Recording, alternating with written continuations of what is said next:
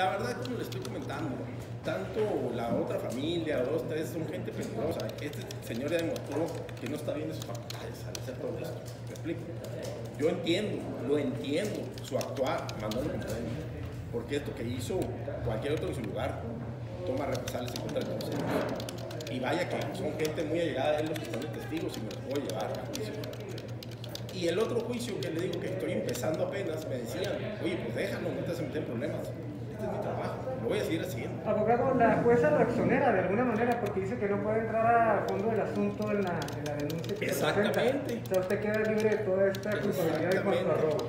O sea, eh, al decir que no entra al fondo del asunto, es decir, estas son las pruebas que me ofrecen en contra del sector Chapa y esto es lo que él se defiende. Ni siquiera voy a entrar al fondo del asunto a contrapartir esto. Esto lo hago aquí y aquí digo que no porque está mal todo. Ok, exoneran de esto, de los cargos que se acusan porque no hay materia en cuanto ni siquiera la denuncia bien armada. Exactamente. Los testigos este, que llevaron como testigos Falsos. falsos. No, No, usted lo que pide entonces es una disculpa pública si no va a proceder en contra de todas las personas que se vieron involucradas en la acusación. Mire, más que todo quería dar esta conferencia para que la gente que me conoce sepa qué fue lo que pasó, porque saben que no me metí a robar. Perdón. Exacto, y mi familia. Saben que no me metí a robar, pero no saben de dónde viene. He hablado con amigos y me dicen, ¿quién te puso el 4? Lo primero que me dicen, porque saben que esto fue 4, esto fue armado.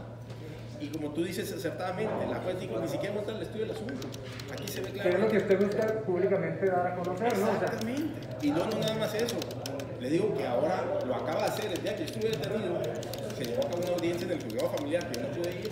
Y a través de su abogada pide la guardia de custodia de la niña y se le otorga, diciendo que mi cliente está sustraída. Mi cliente todavía tiene un recurso en Hungría que no se ha resuelto y él lo sabe. todavía sigue siendo su cliente. Sí, todavía seguimos en contacto. Y se- tenemos, le tengo demandado el divorcio y se nos esconde para el divorcio. Yo lo enfrento a él donde quiera y como quiera. Lo reto de hombre a hombre. A ver pantalones. Poder. ¿Me explico? Sigue viviendo aquí. Sí, sigue viviendo mí es muy importante informar todo esto y que sepa también la señora Maripena Campos, porque para mí merece todo mi respeto, se ha hecho una trayectoria muy bien y que tenga esa persona